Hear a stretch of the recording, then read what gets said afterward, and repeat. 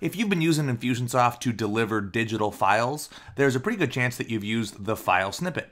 And as you may or may not know, the file snippet doesn't really give you much flexibility, right? You can upload or attach one of your existing files, um, but you can't change the size of that text. You can't change the format of that. Um, I can change the text around it.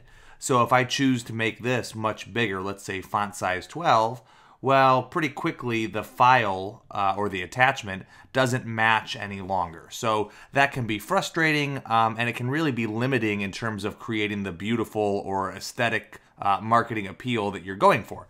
So um, there's a trick, there's a little workaround for creating an attachment uh, that doesn't require you to use the file snippet.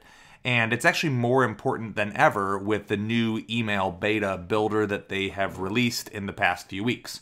So um, what a lot of people don't know is that Infusionsoft, if you hover over this home icon, has a files section. So if you go ahead and click on that files section, um, it'll bring up the My Files tab, which is for the logged in user.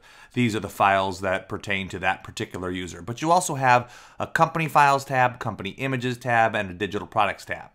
Uh, just as a side note, this is where you can delete and rename any images that may have accumulated in your app over time.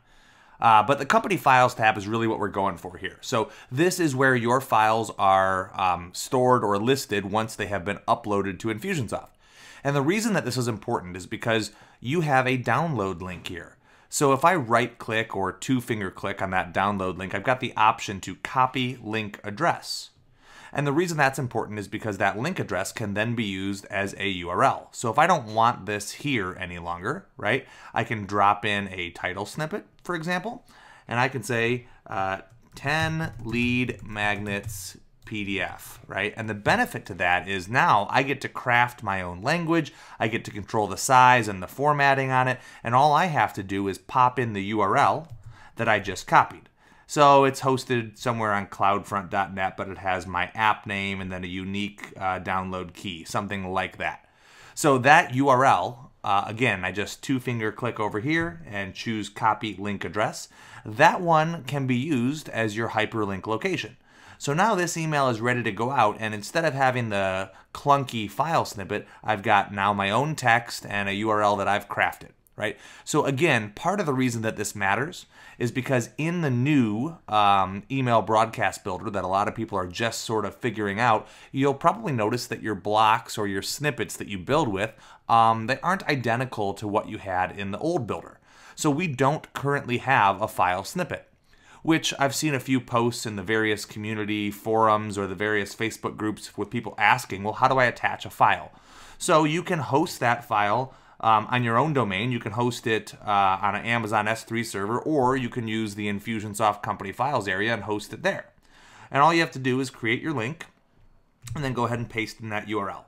So again, uh, this kind of gives you a couple of different advantages, right? Number one, you get to control what the link says. Number two, you get to control the formatting behind the link. But number three is you get more versatility for where you exercise that link. It doesn't have to just be your campaigns or your broadcast. Now you can take that very same link hosted within Infusionsoft and distribute it to your social media channels or any other avenue that you feel is appropriate. Now, uh, it's worth me mentioning that I'm not the first person to, to discover this. I certainly didn't create it, right? People have been using this trick for a long time it just hasn't been very well popularized. I've seen a few other resources out there documenting or explaining this type of a tactic. I just haven't seen it done in a way that I felt like touched on all of these key points, especially now that it's important, or more important arguably, because there's no file snippet here in the email builder.